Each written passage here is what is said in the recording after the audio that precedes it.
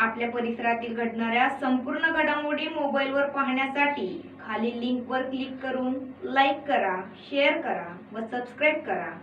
आणि रहा सदैव अपडेट बुलढाणा येथील सामान्य रुग्णालयात जन्मलेल्या मुलींचा व मातेचा साडी चोळी देऊन सन्मान केला गेला.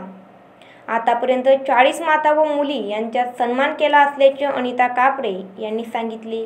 मातृतीर्थ जिजाऊच्या बुलढाणा जिल्ह्यात मुलीचा जन्मदर घटला आहे. रेड झोनमध्ये बुलढाणा जिल्हा असून मुलीचा जन्मदर वाढला पाहिजे. यासाठी सामाजिक कार्यकर्त्या अनिता कापरे सातत्याने जनजागृती करीत आहेत.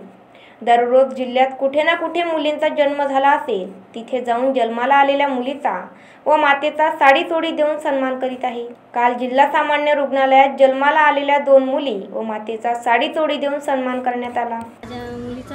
वाढदिवस आहे. आणि आज तू ती म्हटली मम्मी की या सरकारी दवाखान्यामध्ये जी येणारी नवीन कन्या आहे किंवा पुत्र आहे त्यांचा दोघांचा सत साडीचोळी देऊन त्यांच्या आईचा सत्कार कर. त्या निमित्ताने आम्ही जिजाऊच्या लेखी सरकारी दवाखान्यामध्ये सत्कार करण्यासाठी सगळं उपस्थित